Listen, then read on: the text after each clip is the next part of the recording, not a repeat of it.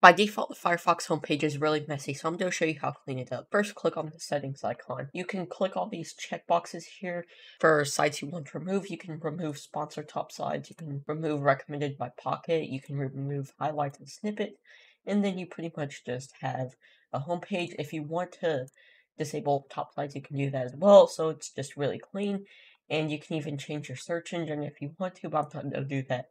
So you've cleaned up the Firefox homepage. If you like this video, be sure to leave a like and subscribe. Fun Noober out.